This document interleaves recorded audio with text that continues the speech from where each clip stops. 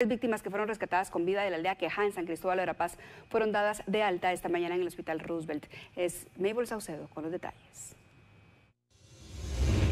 Dando seguimiento a la tragedia ocurrida en Queja, San Cristóbal, Verapaz, Alta Verapaz, es importante destacar que a la emergencia del Hospital Roosevelt, tanto en pediatría como en la unidad de adultos, fueron llevadas dos personas y también una persona que venía acompañando. En este caso se trata de abuela, hija y nieta, quienes estuvieron acá en el hospital.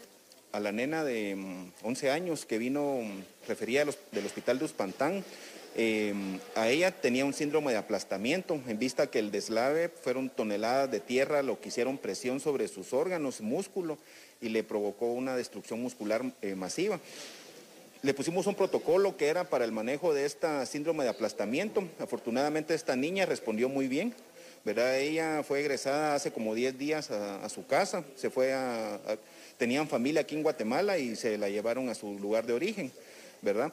La abuelita eh, la señora nos ocultó que tenía COVID porque le habían hecho el diagnóstico allá en la comunidad y se vino aquí a cuidar a la nena y la oímos toser, se le hizo un hisopado y salió positiva. Eh, se alertó al hospital de Uspantán y a los rescatistas y comunitarios de la aldea Queján para que tuvieran cuidado porque así había un brote antes ahí. La señora también ya se fue a su casa, ¿verdad? Con una evolución satisfactoria. Eh, nos preocupa de sobremanera la, señora de 22 años, en vista que ella también sufrió aplastamiento, pero ella sí sufrió una fractura, bueno, dos fracturas de, aplastamiento de la lumbar 1 de la lumbar 2, o sea, tuvo una fractura de la columna. Ella em, fue manejada por la neurocirugía, quien le pasó el caso a ortopedia de columna.